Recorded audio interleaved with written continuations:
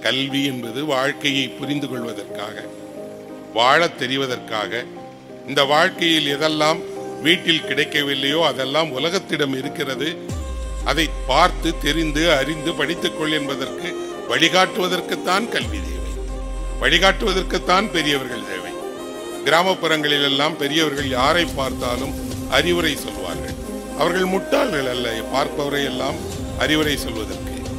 அவர்கள் நான் பட்ட துயரத்தை நான் பட்ட கஷ்டத்தை நீங்களும் பட வேண்டாமே என்று ஆதங்கத்தில் தான் சொல்கிறார்கள். ஆனால் நமக்கு புரியாது நமக்கு அறிவுரையே பிடிக்காது.